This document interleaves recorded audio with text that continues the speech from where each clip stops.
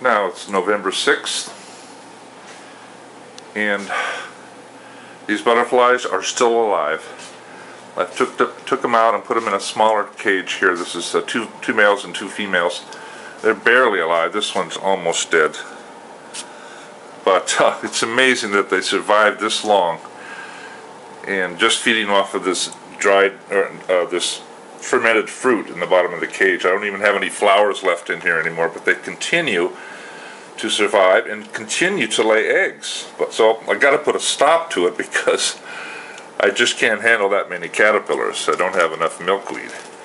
So what I've done is I've taken the first two plants, uh, the first batch of milkweed here, uh, the first batch of eggs, and as we saw the other clip, the caterpillars have hatched and they're starting eating and you can see the little holes in the leaves where the caterpillars are eating right there.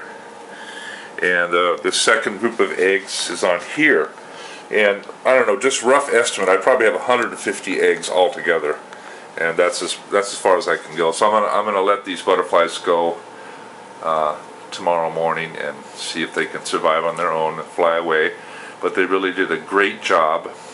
And thank you very much, butterflies, because now we have a lot of monarch caterpillars coming. So I'm going to pull this little plant out. We'll, we'll look underneath and see, uh, we'll check the eggs.